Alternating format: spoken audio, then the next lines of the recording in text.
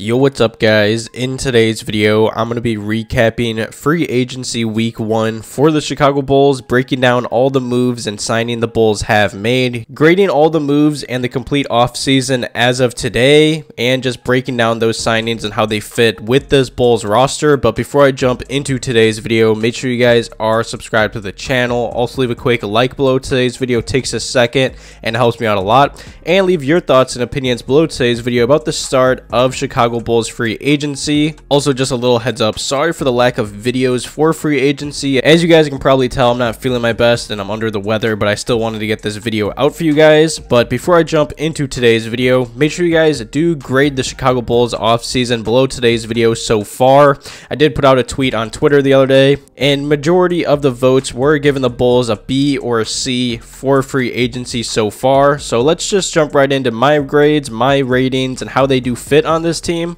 now, I'd say the biggest move that the Bulls have made so far in this free agency was signing Jevon Carter. Now, I'm going to be honest, I'm kind of shocked by this signing still. I do believe the Bulls got him on a hell of a contract. I mean, Woj did report a little bit right after free agency did start day one that the Bulls have signed Jevon Carter to a three-year, $20 million deal. And I love that deal. I love him as a player. Obviously, he's coming home to Chicago, so that's super cool. And on his career in the NBA, he is about a 40% three-point shooter from downtown, and he's a very pesty on-ball defender. This is pretty much the player I wish Caruso could be if he could just get his shooting percentages up. Now, while he may not be the answer to the Bulls' facilitating problems, he does provide them with another feisty backcourt presence who can sink his catch-and-shoot threes. I'm going to be honest, I, as of right now, expect Jevon Carter to be the Bulls' starting point guard. And also, last season for the Milwaukee Bucks, he did play in 81 of the 82 games and he also did start about 40, and he did average about 22 minutes a night. And as of right now, I do expect those minutes to rise on this Bulls team because the Bulls are going to need his three-point shooting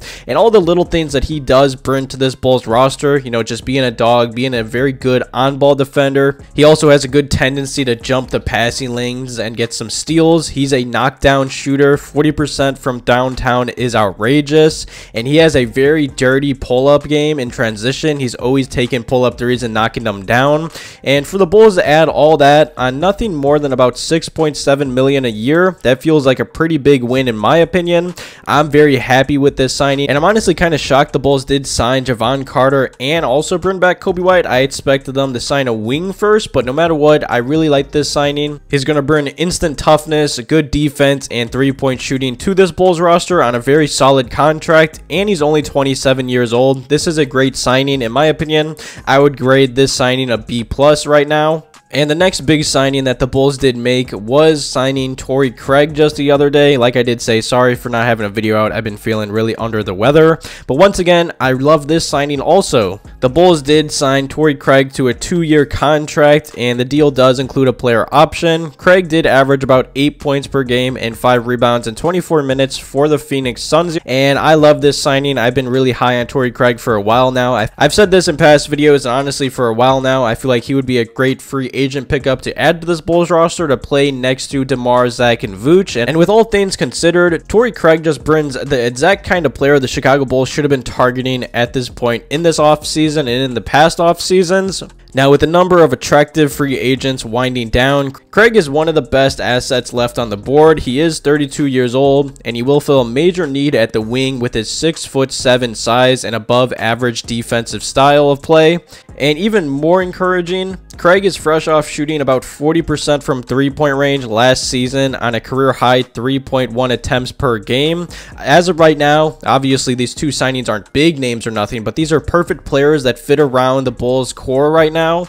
I feel like AK has been doing a great job, you know, being very selective and signing good two good free agents to bring back to play next to DeMar, Zach, and Vooch.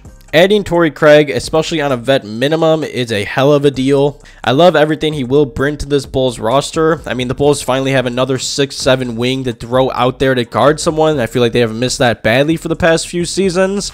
Now, I am a little concerned on his three-point shot. I mean, if you look at his three-point percentages over his career in the NBA, on his career, he's a 35% three-point shooter, which still isn't bad. But last season for the Suns, he did shoot about 40%. I don't know if that was just a fluke or something. I guess we will see going into this year. As of today, I would give this Torrey Craig signing also a B or B plus in my opinion. I like both these free agents that AK has signed so far. Now, before the Chicago Bulls front office did sign both those free agents, they also did re-sign Coby White and Vooch. I'm not going to talk about that topic uh, too much because I did talk about it in one of my last videos, but I'm really happy Coby and Vooch are both back on very affordable and solid contracts. I know some people are still not going to be happy with the Vooch contract, but bringing Coby White back, I mean, I think we all know he's only 23 years old. He has so much room to improve and grow especially with how much better he did get last season during the season and last off season. He was in the gym so much. He's a knockdown shooter that can get really hot and win you a game or two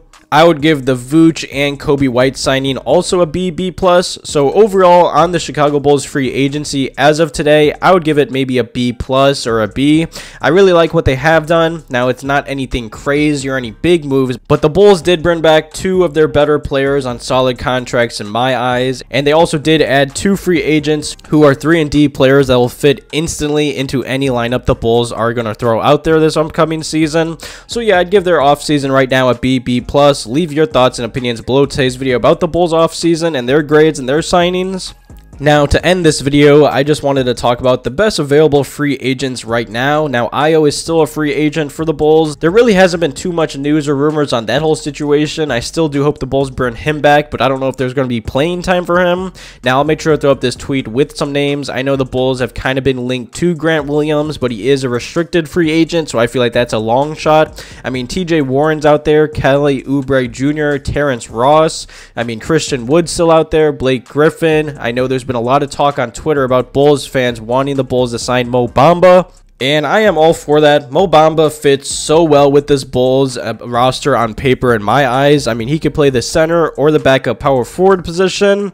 Obviously, he's super lengthy. He's a good defensive center that can block a bunch of shots. He can also shoot too. I feel like the Bulls could also get him for pretty cheap, but as of right now, I'm not sure who the Bulls are going to sign. I mean, Mo Bamba is only 25 years old. He really didn't play this past season for the Lakers, which does surprise me. I mean, on his career, he is shooting about 36% from three three-point range. If the Bulls could throw another vet minimum at him to fill out this roster, I would be very happy, but I'll definitely keep you guys updated on the rest of the Bulls offseason so far. Definitely leave your guys' thoughts and opinions below today's video on the Chicago Bulls start a free agency.